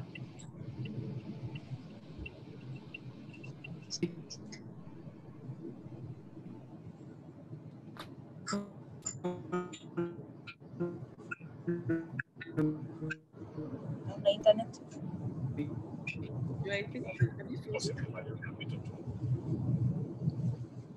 Sorry, I'm just passing through a rough patch.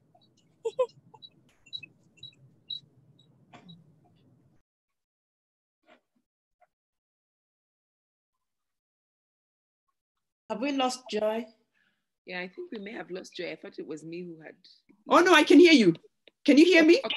Now, now I can hear you. No, I'm very sorry. It's because the phone rang and I'm using the phone internet.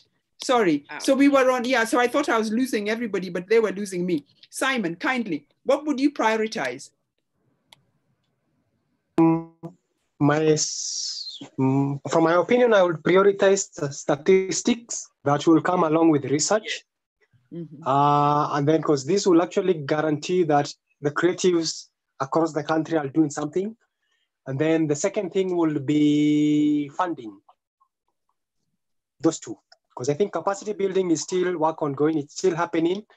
And then, uh, but funding, it's only that right now we've got the first funding through the through the stimulus package from the government. So statistics that will come along with research, and then second thing, maintaining funding moving forward. Yeah. Continuous and consistent financial support. Okay, good. Yes. Thank you. Uh, Liz, um, so most of the things I would have thought have been mentioned, but one of the now for you can repeat them because it reinforces them. yeah, I'll, I'll repeat. Of course, capacity building is a must. Yes. Uh, but then now I realize that also we perhaps need to think of a, a creative arts dispute resolution center. Uh, because when you look at the creative industry, uh, when we have sort of a lot of disputes, it slows mm. down the creative industry in general. Mm. You know, the creativity process, the the economic process of the creative side sort of slows down because people are just fighting and and you know we, the court system does not favor ip because of the bureaucracy and the and the procedures involved. So i think for me now uh, a, a dispute resolution center for the creative arts would be something now we can perhaps think to do and put together. Interesting. No thank you. Thank you very much liz.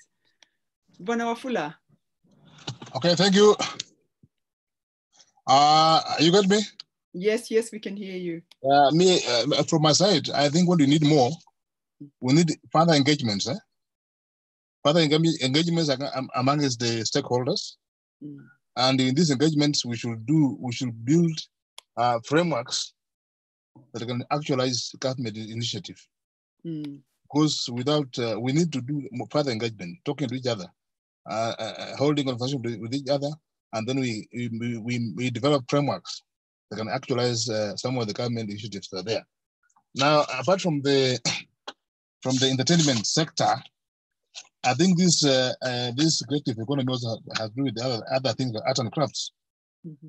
Like on the issue of art and crafts, I tend to think that uh, we need to to we need supportive policy uh, to enhance ex, ex, export export oriented policy.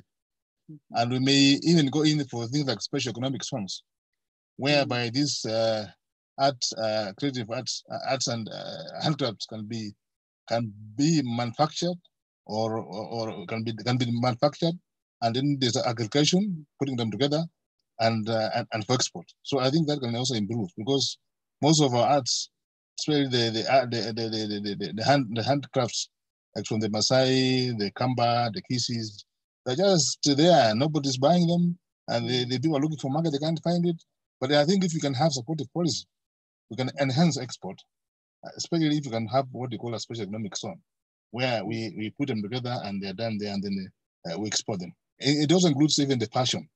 Like most of our, um, the, the, the ladies, uh, ladies, uh, uh, ladies dresses, eh? they are very good. When they uh, foreigners come, they like them, but they don't know why to buy them. Hmm? They come and see the Kitenges and all those, and they like them, and they, they, they say, how can I, where can I buy this? If, I, if, I, if this was in my country, I'll, I'll buy it. But now, you see, we, we are not doing much on that. So I think if we can do that, we can uh, we can improve on uh, on our economy. Thank you very thank much. You. Thank you. So thank you all very much. Thank you very much to the panelists. I'd like to um, see whether we are ready with the poll results. Are we ready with that, Hazita? Yes. Okay. So there they are on the screen. I hope we can all see that. So the first question, should the recent government stimulus program for the creative sector be institutionalized going forward to grow the sector? And of those present, 96% said yes and 4% said no. At another forum, we'll understand why we agreed and why we disagreed, but not this one. And for the second question, should the creative sector and the media be self-regulating with regard to freedom of artistic expression? And again, yes, 91%, and 9% no. And of course, because we don't have a chance to, to discuss these further, it's, we, we will take them as they are, but it would be interesting to understand why we are saying yes and why we are saying no. Thank you very much for that, Hazita, and thank you very much everyone who has taken part in that, in that small poll. But now it's my pleasure to thank all of the panelists. I'd like to thank um, Mr. Edward Sigei, Dr. Mshai Mwangola, Mr. Benjamin Muchiri, Mr. Simon Mwaura, Ms. Liz Lenjo, Mr. Nyongesa Wafula, for really, I think, an excellent exchange. Even though we probably had the smallest number that we've had uh, for these ResiliArts, I think that it's been one where there's been a very deep and important exchange around concrete steps forward, but also the interdependence and connectedness across sectors and how important it is for us, I think, as Nyongesa said at the very end, for us to keep engaging and to keep trying to see how we develop frameworks that are holistic and that enable not just the creative economy to thrive, but the whole economy ultimately. So thank you all very much for, for being with us for, for this period of time and for your wonderful insights. It's now my pleasure to invite uh, Professor Kimani Njogu of Twaweza Communications, but he's also chair of the Creative Economy Working Group, to make some closing remarks on behalf of all of the ResiliArt partners. Professor Kimani, karibu. Um, thank you. Uh, thank you very much, uh, Joy, for the opportunity. Thanks a lot, uh, panelists and the attendees. Uh, I would like just to say a few words um, as we wrap up um, this, this session of the ResiliArt um, you know, convenings.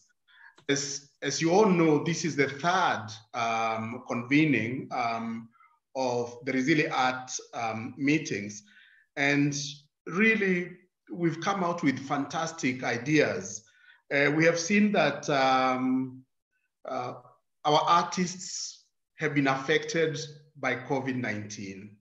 Um, but we have also seen that they have been able to turn around and continue to be relevant, not just by doing the work that, that they have always done, but also uh, inspiring communities, uh, giving people hope, entertaining people, you know, and, and using the available platforms to continue work. Um, so this is very important so that they have seized the opportunity that COVID-19 has provided and activated technology uh, to continue being relevant. Um, of course, there are, there are fundamental questions that um, we've uh, that have been raised. There are questions related to the stimulus package, uh, and I think that there is a feeling that um, the stimulus package was a very good idea. The government stepped in to support uh, the sector, but that there is need also to look at how that could be uh, better managed uh, going forward. Um, the, the, the, the, investment uh, by government uh, on the sector has been um, appreciated, but again, there is work to be done. Um, they, there is also conversation that we have had related to the sports, arts, and uh, social development uh, fund. And again, something came out that was very important, um, is that there is an opportunity for us to engage that fund so that it serves the sector even, even better.